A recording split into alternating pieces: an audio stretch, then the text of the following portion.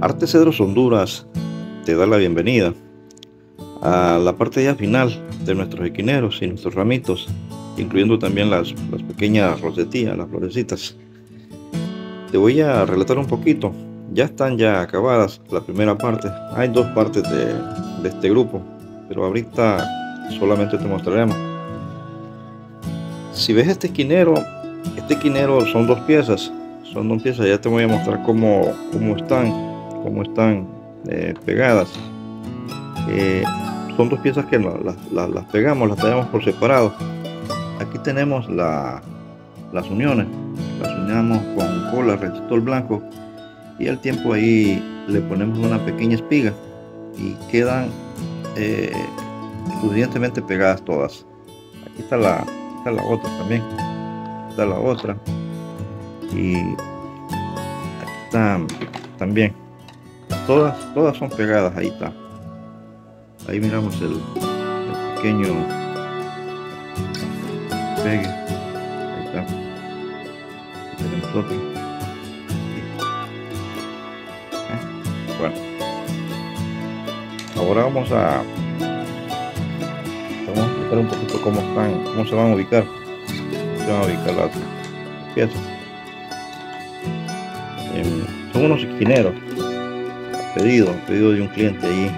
Que ya están, ya él ya está, ya las vio, ya la, y nos dijo que estaba muy bonita. A mí me encantan cómo quedaron.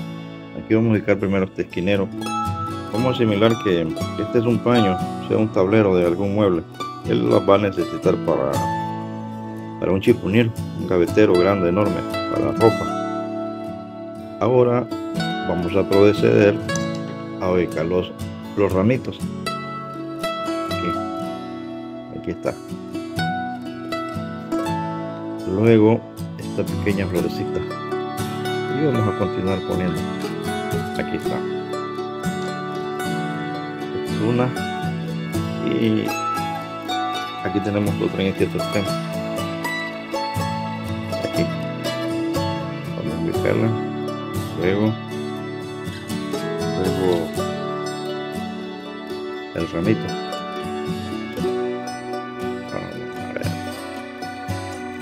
A aquí nos estamos auxiliando nosotros mismos. Mismos estamos aquí con nuestro teléfono pues.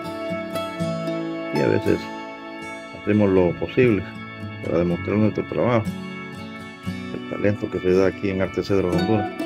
Bueno, ya se suscribieron. Ah, eso sí es muy bueno.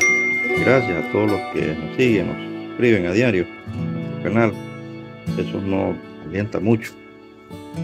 Nos alegra, nos entusiasma para seguir trabajando para ustedes. Para ustedes y nadie más. Estos son nuestros esquineros. Que saludos y todos, un fuerte abrazo para todos. Hasta luego. Hasta la próxima.